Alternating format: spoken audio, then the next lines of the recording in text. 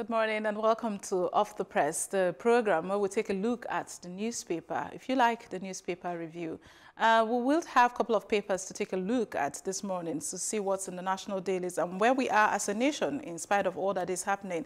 And as you know, we'll always have um, an analyst or someone reviewing the paper with us. But today we are going to have Gbolahan Olojede, who is a public affairs analyst, reviewing remotely. He will join me via Skype. And for the papers, I'll begin with the Punch newspaper. And it says, despite GENCO's 200 naira billion fund, gas shortages stalls uh, 23,800 uh, megawatts. And that's on page 23, already displayed there. And the NCDC minister, NCDC boss, meeting Buhari over lockdown and Kano debts. That's on page 11. As you can see, 2020 school certificate exams not cancelled. That's according to WAEC. That story is on page 7. Recapitalized DisCos or risk pass sector collapse, TCN ones on page 24. And the big story there, it's uh, coronavirus. Nigeria desperately looking for test kits, says NCDC. That is on pages 2, 7, and 11. Uh, South Africa tests 161,000. Ghana has tested 1.6 already. Uh, Egypt, 90,000. Nigeria has got the least there with 10,061. And recall that Nigeria has a population more than these two countries. We'll come to that in a bit. Now, Kano serial deaths continue. BUK professor dies and officials not responding. Ex-NHIS boss says infected Nigerians will be treated in China, says federal government. That's for Nigerians who are infected in China. Fresh uh, 13 Togo returnees arrived Seme. And we have a picture story there also. If you scroll down a bit, yeah, thank you very much. It's already displayed there. Um, you will see filled sections of, um, I can't see, but well, you can find out first. That's a road somewhere in uh, the expressway Lagos. That picture was taken yesterday. Um, you can see the portion of the road, how it is. And then we have dollar sales for 450 naira in parallel markets. That's a business segment on page 25. Oyo to repatriate Lebanon-based indigene offered for sale. I'm sure you remember that story. It's on page 14 of the Punch newspaper. Gunmen abduct popular Ibadan Islamic clerics twins on page 5. Find out why. And gunmen kill Ekiti councillor, kidnap commissioner, and other on page 8 of the Punch newspaper. Lockdown, 39 strippers, uh, strippers and clubbers, 581 others arrested in Lagos. They have defied the lockdown order. And that story is on pages 4 and 5 of the Punch newspaper. And lastly, NJC writes Buhari nominates Dongban-Mensem as uh, a court president, Apex Court president. That story is on page 13. I'll move on to my analyst now. Uh, Gbolahan, can you hear me? Hello. Can you hear me? Yes, I can hear you. Let's do the business as usual. Okay. Great. Uh, maybe we can start with a screamer, all right? Okay, go ahead, please. Uh, yeah, um, any close observer will have noticed that um, the NCDC seems to be struggling with rolling out those tests. Right. Uh, so uh, we've been wondering what exactly is going on because increasingly uh, it's either people are calling to get tested and the responses are not good enough, are not fast enough, mm -hmm. or people get tested, they're not, I mean, people's samples are collected and the test results seem not to be coming out as fast as expected. Mm -hmm. So people were already thinking that there's a problem in the, in the mix.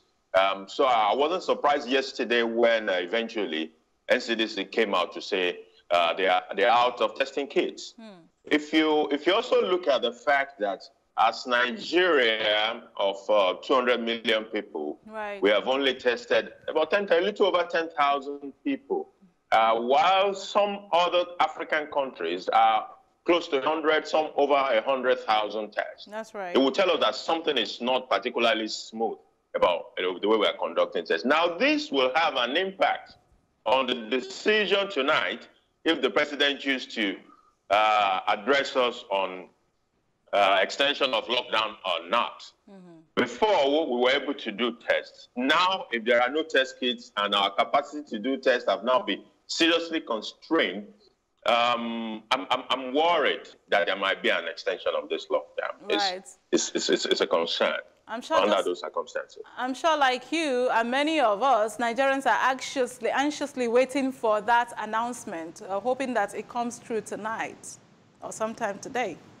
Hoping so. Yeah. Well, we're all hoping so. Um, I, I, think it's also worth mentioning uh, that in circumstances like these, we do not expect that we'll wait till the last hour before we can plan our lives. Hmm. I, I, think the, the advisors to the president need to um, make him realize this. So whatever decision he needs to make, we can make it a day, two days, three days before the final hour of the expiration of the lockdown. Hmm. Uh, this, this, this is the right thing to do. Essentially, uh, the NCDC have been doing a great job with daily briefing, though in, in some other country you see the president actually leading from the front when it comes to those uh, briefings. Right. Uh, but let's even say, I mean, NCDC is doing a good job. We don't mind that. But at least in matters like today's address, if there's going to be an address, mm. we expect the address to have come before the last hour. Mm -hmm. All right. Um, I hear your point there. Uh, I mean, have you seen, I'm sure you saw that story. I just want to quickly get your reactions on infected Nigerians will be treated in China, says the federal government. That's talking about, you know, Nigerians who have already tested positive in China, and in fact, by, there are others also in the UK. Yes, what are your thoughts on that? Uh, the problem that the government has faced is the fact that the government needed hotels or accommodations to, to put these people. Once they come in, they are not expected to go into the country. From the airport, they go into these quarantine locations. I, I, I listened to the NCDC boss uh, a couple of days ago when he was saying they are having major problems with hoteliers. Nobody, they believe that when you use their hotel to accommodate these people, it will erode their brand and will affect their business ultimately by the time uh, uh, this issue is off the table. So without being able to organize a proper quarantine places for them, um, that might be the excuse why they are saying let them be treated in China or uh, where, and wherever they may be. Mm -hmm. in all honesty, it's also possible that a place like China will have a capacity, a better capacity for, for treatment. What we don't know is the fact that China has not been exa exa exactly nice to our people right. in the last few weeks. And if they will give these people the right treatment, like they will a citizen that they respect, mm. that, that is my only concern about that. Otherwise, China has the capacity to actually uh, uh, treat these people. Right. Very relevant points that you raised there. Oh, okay. So I'll, I'll say, Gbolahan, could you just take one more uh, from there of your interests, and then we'll move on to another paper because, as you do know, time is uh, the business. Yeah, you have you have several papers. Uh, I, I, I would like to talk about the uh, the naira trading at 450 to a dollar. Right. Uh, in the parallel in the parallel market. markets. Um, I, those kind of rates are merely speculative. Nothing has settled Nobody knows, and everything is still very fuzzy. So what you see right now are people taking some speculative position in the dollar market, mm-hmm. you know, believing that it will be this rate, you will settle at that rate, you will settle at the other rate. But the reality is that these are pure speculative things. You know, in a few months when things are beginning to get form and shape, mm. uh, that's when we'll actually be able to see what the dollars will do uh, in the in the parliament. But I want to quickly ask you, what's the implication of that? Say it's not uh, even uh, say the speculations are right. -huh. What is the implication? the implication is massive devaluation. Hmm. Uh, it will be as if we're going back to 2016. 2016, personally, I bought dollar at 512 or 515 wow. in 2016 in the hmm. parliament to meet some obligations uh, uh, to some of our vendors uh, with my employer then. So um, that could be where we are heading if things don't stabilize on time. But I'm hoping that this we can get a hang on this coronavirus problem soon, sooner than later, mm. and be able to manage, to be in control of what this exchange rate will be to a very to a certain extent. The control is to a certain extent. Because think about the fact that what all the things that will help us have a good grasp on the control are not exactly there. Mm. The reserve is dwindling all the time. We're not selling oil. The oil tankers are all over the place, and that is the source of 90% of our foreign exchange. So there are challenges out there. But as at now, nobody knows what dollar will settle out in the parallel market. Everything is purely speculative. All right, Gbolahan, I share in your hope. Now let's move on to the Nation newspaper. And it says, um, the big story there is, it will be displayed, I know, uncertainty over lockdown as Nigerians await decision, just what uh, and I were talking about. And Dongban-Mensem gets NJC's a nod as PCA, 69 others tipped for, for the post. That story is on page two. And IMF's approval of $3.4 billion loan tied to exchange rate review on page two also. And Olakunrin suspect test positive for COVID-19. That's on page three. Uh, 13 Nigerian returnees from Togo arrived in Seme. Uh, SSE not cancelled, says WAEC. And um, right behind, uh, below the screamer, Buhari meets Health Minister, NCDC, DG, and test kit shortages hits Nigeria. And if you scroll down, there's a picture story there.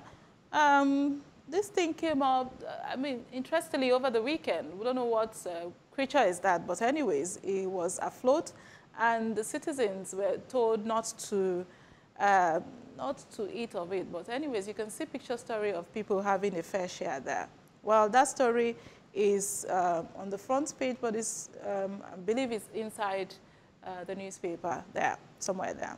We also have, yeah, Feasting on the Wheel. It's on the front page, rather, and continued on page two of the Nation newspaper. To your right, again, is the global figure of uh, the coronavirus. You can see it. And then the local figures to the left, uh, to the right, and to the left there, displaying where we are uh, globally and where we are as a nation.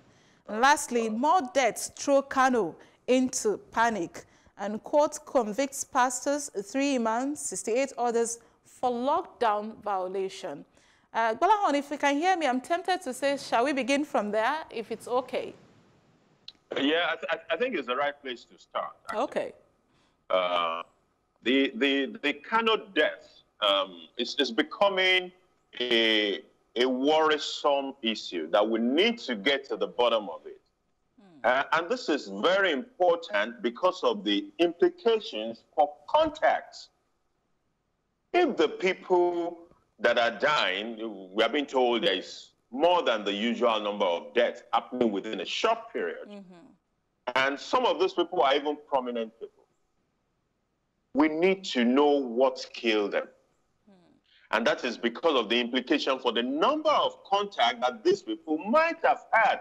We need to do contact tracing. Right. If we cannot do contact tracing and fish out these people, things will get out of control. Mm -hmm.